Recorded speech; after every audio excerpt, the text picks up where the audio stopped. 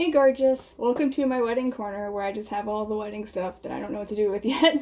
I guess we also have the wedding corner in the shower that I'm not gonna deal with right now because I haven't been dealing with it for months and it's just gonna stay there. Anyway, this week in wedding planning, we haven't really done much. So on Tuesday, there were a couple things.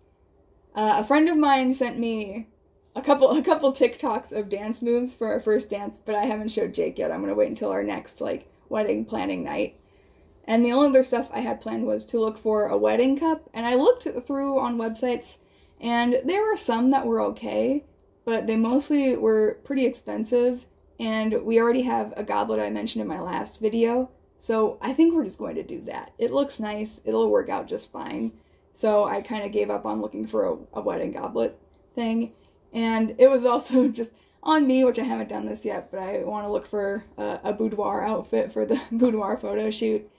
So that was just a few things that I needed to do, and yeah, Jake didn't really have to have input on it.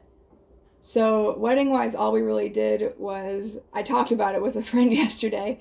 A friend, also a bridesmaid, who I haven't seen for a couple months, she came over with her husband yesterday, and it was funny. We just sort of broke off, and her husband and Jake came downstairs here, and they were just talking about programming the whole time, while me and my friend Gabby were upstairs just talking a mile a minute, catching up, figuring everything out, like that we that we've missed out on over our time like apart and it was really nice. And obviously, like the wedding ends up coming up because it's just one of those big life events that comes up in conversation. And she is such a sweetheart. So like from the bottom of her heart, she's she's a giving person. She's always been like that. And she's she's such an amazing person. And so I would just bring stuff up and it was sort of in the vein of like when I mentioned the the dress situation to my mom and she offered to get me a dress and I was like, Mom, no, like I've made peace with that, don't worry about it. Um, Gabby did the same thing when I mentioned I wasn't having flowers, and she said, "Oh well, I've I've made flower arrangements," and she's showing me pictures, and she said, "I could make this if you want. I could do that." And I said, "No, I've made my peace. I don't. We don't need flowers. It's totally fine." But I appreciate so much that she wants to do that. But she's also offered so many other things. She's she's very crafty, very creative, and so they have a 3D printer. So she said, "If there's anything you want 3D printed, we will do that." She offered her Cricut. so I I did ask her, "Oh, could you just print off our names and our wedding date to put on that little officiant book. And she said, Yes, I'll definitely do that. And she offered to make me a little like shawl for my wedding dress since our wedding is might be in a colder month. Well, depending. You never know with where we live if it's going to actually be warm or if it's going to be cold. But she offered to do that. And all this stuff, I'm like, you do not have to feel obligated. I I feel like I say that all the time, and I think it comes off as wishy washy. But I just don't want anyone to stress out about my wedding as much as I stress out about the wedding. So I'm just like, if you can't do it, don't worry about it. But it would be absolutely lovely. And I know she really wants to do it because she's getting into crochet, so she wants to like keep working on it and she wants to keep working on all these other pursuits that she has. And she has her own business where she makes candles and other stuff. I don't know if she still makes she made this like lip balm that I really liked, but I don't know if she makes it anymore. I think they're focusing only on candles. And they made jewelry and I wore like a pair of earrings I got from her in, in our engagement pictures. She's just she's really good at what she does, and I love it. Anyway, so wedding wise, that's about all that's happened. We haven't really done much this week, and that's totally fine. It's been kind of like a ugh, like after all of the craziness that there's been, it's been nice to just sort of hang out. Although me and Jake did have to have a conversation because this was he actually brought this up so I've been so gung ho about wedding planning, and then now like we've been going out and seeing people, and we've been doing a bunch of other things going places, and we're we're like we got used to our pandemic life where we just sort of sat next to each other on our computers and did our own thing, and then when we had extra time, we would hang out. But now we're losing out on that extra time because we're going to see people, and also when I was working late so we were just kind of like, Jake. Jake was just like, we're, we're not hanging out anymore. We really need to plan date nights or something. Like, we need to hang out together. And I feel like it's crazy that I didn't think about that because it seems like such an important thing for a relationship to just like not forget your future spouse and all of this. But you sometimes get so focused on like the wedding and the people who are there to support you and the things that you need to get done and all these details that you just sort of get sucked in and you forget what it's all about. I think I might have mentioned this too in a past video where it's just like, what am I doing? This whole thing is about me and Jake, and I just was totally neglecting our time together. We still haven't figured out exactly how to rectify that. I'm thinking we'll probably just how we have like our wedding nights where we just plan wedding stuff. We'll probably also have to plan one or two nights a week where we just have a date night and hang out. Because it's not like we never see each other. So like I go to work, I come home, and on, on my way home from work, we usually talk for like half an hour while I'm driving because I'll be driving and he'll be making dinner. So like we're both sort of busy, but then we can catch up on our day. And we have dinner together. But then yeah, we just sort of like go separate. And I think the issue is I, I like to do too many things. So I'll be reading books, I'll be writing something, I'll be going over wedding stuff. And Jake will just be bored. He'll just be on his computer, like, what's there to do? And just kind of waiting for me to get done so that we can hang out together. But then I find a million things to do and I'm never done. So I need to just take some of the stress off my plate. And for like those wedding nights, maybe I should make a night for myself where like it's only wedding. Like maybe I should have those be my wedding night and I just don't plan wedding outside of that. Which is hard because I'm an anxious person, so I think about the stuff constantly. Like before bed I'll be like worried about something or there's all sorts of factors, but maybe for myself and it will also help the both of us if I just pick one or two nights a week where I focus on it and don't do that outside of it. That would be helpful in our relationship because like I said, I have I have also other interests outside of the wedding. It's not like it's only wedding planning all the time. But with the wedding on top of my other stuff, I'm lacking like hours of free time every day, probably like an hour or two of free time every day. So that's a good idea. And yeah, just planning date nights. So I don't know if this is a common issue. Are are you other people having this issue where you're sort of like getting thrown into it and then you're not having time for your partner?